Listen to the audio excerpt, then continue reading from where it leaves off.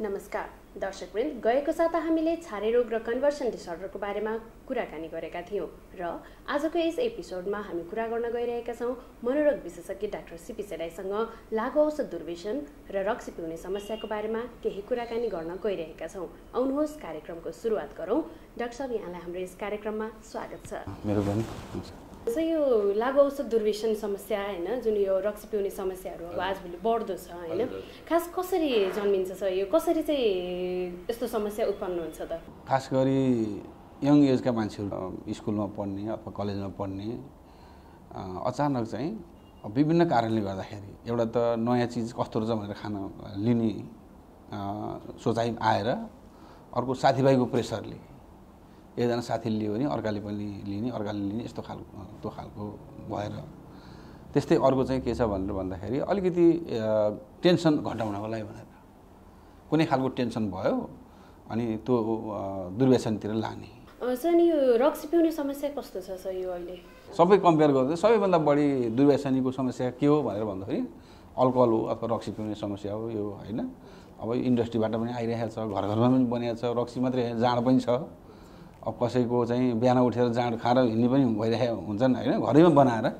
त्यस कारणले यो धेरै अगाडिदेखि आएको।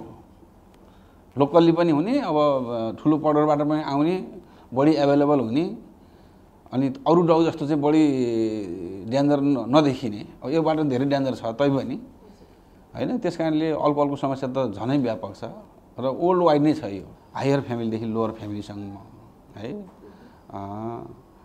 अलिकति हाम्रो कल्चरली पनि है अब चाडबाडमा लिने अथवा पूजा गर्दाखेरि पनि कुनै कास्टहरूमा यस्तो पनि छ नि त। त्यसले गर्दाखेरि पनि यो रक्सी पिउने समस्या बढिरहेको छ र सुरुमा स्टार्ट गर्दाखेरि चाहिँ नि थोरै लिने है लिँदै लिँदै गएपछि चाहिँ अनि बानी पर्ने। जस्तो आज एक गिलास लिएको छ भने अब हामी त्यसलाई डिपेन्डेन्ट भनेर भन्छौँ बानी परेको मान्छेले चाहिँ आज एक गिलास ल्याएको छ भने जति सेटिस्फ्याक्सन उसलाई हुन्छ भोलि चाहिँ त्यसले चाहिँ एक गिलासले उसलाई त्यति सेटिस्फ्याक्सन दिँदैन। त्यसले सन्तोष हुँदैन। उसलाई अलिकति बढी लिनुपर्ने हुन्छ। एक लिटर दुई लिटरसम्म खान्छन् अझ बढी पनि खान्छन्। जुन यो रक्सी पिउने समस्या र होइन अँ, दुर्व्यसन यो चाहिँ कस्तो छ? एकअर्कामा कतिको कनेक्सन छ? दुइटै एउटै हो कि कस्तो? सामान्य रूपमा भन्दाखेरि दुर्व्यसनी भन्दाखेरि सबै थोक पर्छ। अल्कोहल पनि पर्ने भयो अरू अब गाँजा लिने समस्याहरू भयो। हामी ब्राउन सुगर भनेर भन्छ त्यसलाई हिरोइन यो पनि समस्या हो होइन? त्यसपछि फेन्साइक्लिडिन भनेर भन्छ। विभिन्न खालका ड्रगहरू छन् त्यस्तै ओपिएडका प्रडक्टहरू कोडिन होइन?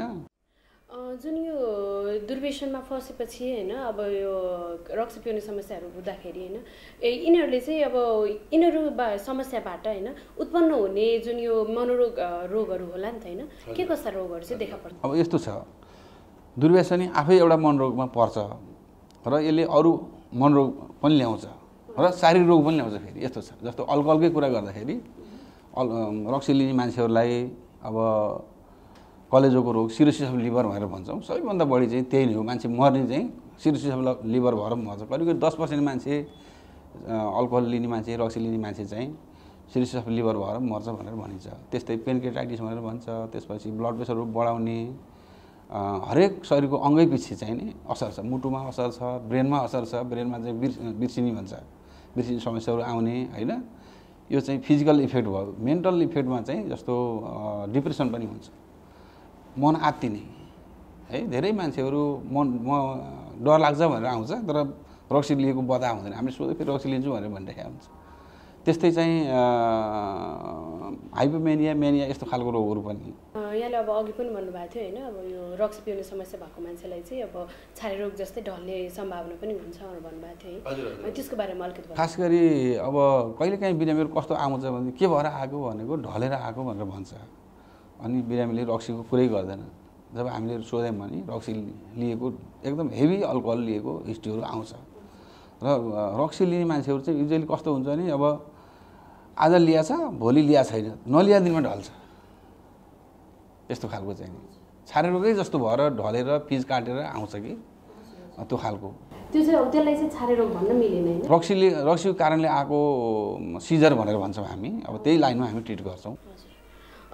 जुन यो रक्सी खाने चाहिँ रक्सीले जुन समस्या निम्ति आएको बिरामीहरू हुन्छन् होइन उनीहरूलाई चाहिँ कसरी उपचार गर्नुहुन्छ हजुरहरूले? मेनली चाहिँ अब डिटक्सिफिकेसन भनेर भन्छौँ हामी।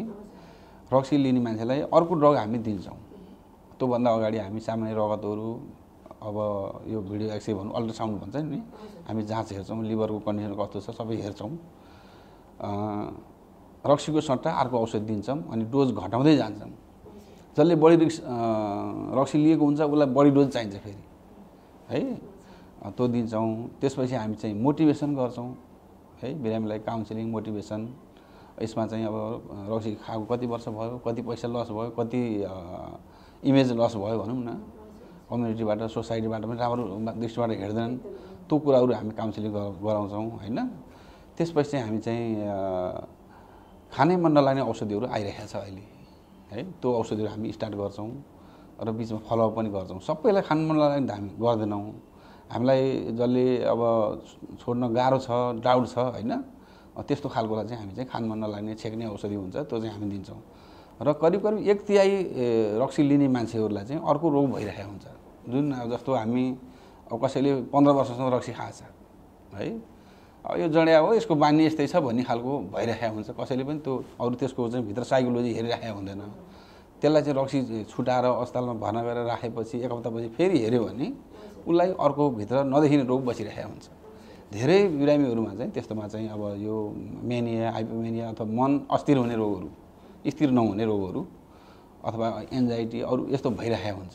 अनि त्यो त्यसलाई पनि अनि त्यसपछि उपचार गऱ्यो भने बल्ल चाहिँ उसले छोड्छ। एउटा बिरामीलाई चाहिँ होइन त्यो अब उसको त्यो रोगबाट पुरै निको पार्नलाई ट्रिट गर्नलाई होइन कति समय रक्सीको केसहरूमा करिब करिब दस दिनदेखि लिएर बढीमा एक महिना जतिमा हामी टुङ्ग्याउँछौँ। हजुरले जुन उपचार गर्नुहुन्छ नि होइन उपचार पश्चात जब उसलाई अब कम्प्लिटली ठिक भयो भनौँ न त्यसपछि अनि उसमा त्यो त्यही अब रक्सी पिउने समस्या फेरि बल्झिन सक्छ? बल्झिन सक्छ। कस्तो अवस्थामा बल्दिन सक्छ भने एक खालको यो बाहेक अहिले हामीले कुरा गरेको बाहेक एक खालको पर्सनालिटी डिसअर्डर भनिन्छ कि मान्छेको व्यक्तित्वको समस्या।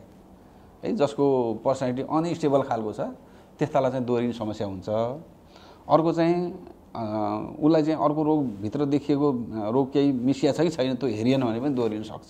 हजुर। जुन यहाँले अघि भन्नुभएको थियो कि अब रक्सी पिउने समस्या भएकोलाई डिल्युजनहरूदेखि लिएर होइन अनेक समस्याहरू पनि त्यसको बारेमा अलिकति भन्नु रक्सी पिउने मान्छेहरू पनि अब अरू खालको मनोरोगबाट पीडित हुन्छन् खास गरी शङ्का लाग्ने है आफ्नो परिवारको फ्यामिलीसँग शङ्का लाग्ने श्रीमानले रक्सी खाने भए श्रीमतीसँग शङ्का लाग्ने श्रीमतीले खाने भए श्रीमानसँग शङ्का लाग्ने यस्तो भइरहेको हुन्छ। त्यसले गर्दाखेरि चाहिँ परिवारै घर छोडेर गएको यस्तो खालको पेसेन्ट पनि आउँछ।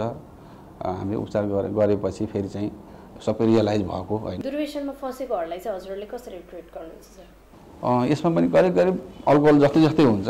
अलिकति लामो समय हामी राख्छौँ। यसमा पनि अब डिटक्सिफिकेसन भनेर भन्छौँ हामी है। अब त्यो ड्रगको सट्टा अरू ड्रग हामी दिन्छौँ है? एक दिन दुई दिन अलिक गाह्रै हुन्छ है? जसले अलिक कडा ड्रगहरू ल्याएको छ। अनि त्यो ड्रगहरू घटाउँदै घटाउँदै घटाउँदै लान्छौँ हामी। त्यसपछि हामी मोटिभेसन गर्छौँ होइन? कसरी खायो के गर्यो भनेर भन् त्यो किसिमको ग्रुप थेरापी भनेर भन्ने हुन्छ एउटा चाहिँ। लास्टमा चाहिँ खानै मन नलाग्ने औषधि राख राखेर पठाउने। र केही मान्छेलाई अरू रोग पनि मिसिया हुन्छ अल्कोहलमा जस्तै अनि त्यसलाई ट्रिट गर्ने। अनि यसलाई अब रोकथामको लागि चाहिँ होइन अब कसरी चाहिँ अब चेतना जनचेतना फैलाएर हुन्छ कि कसरी चाहिँ रोकथामको लागि चाहिँ अघि बढ्नु अब यो चाहिँ कस्तो छ एउटा हस्पिटलबाटै गर्ने कुरा छ एउटा चाहिँ हस्पिटलमा बाहिर गभर्मेन्टको कुरा कुरा पनि छ है? अब लागु औषधहरू चाहिँ सहिलोसँग चाहिँ देशमा छिर्यो भने त्यो मान्छेलाई खुवाउनलाई रोक्नै सकिँदैन कि। छिर्नै दिनु भएन। बोर्डरमा राम्रो कन्ट्रोल हुनु पऱ्यो कडा कानुन बन्नु पऱ्यो होइन र? अहिले के छ भने दस पर्सेन्ट मान्छे चाहिँ जसले ड्रग लिन्छ तिनीहरू बेच्छन् पनि है। बेच्ने काम पनि गर्ने लिने काम पनि गर्ने। करिब दस पर्सेन्ट त्यस्तो छ कि। त्यस कारण जबसम्म गभर्मेन्टबाट अलिकति स्ट्रङ पोलिसीहरू आउँदैन अलिक गाह्रो हुन्छ। मैले चितवनमैको हिसाब गर्दाखेरि तपाईँको करिब महिनामा दुई लाखसम्म खर्च गर्ने मान्छे ड्रगमा खर्च गर्ने पनि भेटाएको छु। त्यस्तो खालको छ। अब ऊ चाहिँ अब ब्राउन सुगर हामी हिरोइन भनेर भन्छ त्यो लिने मान्छे। त्यस कारणले दिनदिनै रोज बढ्छ। अब पैसा त चाहियो। अब पैसा ड्रगको लागि पैसाको लागि मान्छेले जे पनि गर्न सक्ने इलिगल काम गर्न सक्ने क्रिमिनल एक्टिभिटी गर्न सक्ने यस्तो खालको छ। अन्तमा होइन अब हाम्रो टेलिभिजन हेरिराख्नु भएको दर्शकहरूलाई के भन्न चाहनुहुन्छ? अब यो दुर्व्यसनीको समस्या बढ्दो छ। यस कारणले बुवा आमाले भनौँ न आफ्नो बच्चाहरूलाई चाहिँ राम्रो कन्ट्रोलमा राख्नुपर्ने हुन्छ। है चाहिने भन्दा बढी पैसा दियो भने अनि त्यो पैसा बढी बढी हुने एक ठाउँ भेट भएर पढ्न बाहेक अरू काममा लाग्ने है? र ड्रगहरू लिने रक्सी लिने त्यस्तोमा जाने हुन्छ।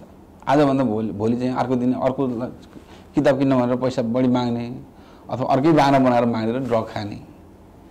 र घरबाट गएर स्कुल गएर पढ्ने भन्दा होस्टेलमा बस्नेमा चाहिँ तपाईँको यो ड्रग खाने धेरै देखिया छ किन होला मेरो जस्तो लाग्छ भन्दाखेरि होस्टेलमा त एउटाले खायो भने अरू सबैलाई चाहिँ उसले असर गर्छ नि त सबैलाई उसले सिकाउँछ। होइन? राति राति बाह्र बजे एघार बजे चाहिँ नसुतेर गाँजा खाइदिने अरू ड्रगहरू लिने अरूलाई पनि एकदम त्यसमा लगाउने टिचरले थाहा नपाउने गरेर यस्तो खालको छ। राम्रो पढाउँछु भनेर झन् होस्टेलमा ल झन् होस्टेलमै बिग्रेर आउने। यस्तो खालको छ। त्यस कारणले आफ्नो बच्चाहरूलाई अलिकति वाच गर्नुपर्ने हुन्छ। यसको बारेमा जनचेतना बताउ पनि त्यत्तिकै आवश्यक छ। सरकारको रोल पनि त्यत्तिकै छ। होइन यो कुरा पनि महत्त्व जस्तो लाग्छ महत्त्वपूर्ण जस्तो लाग्छ मलाई।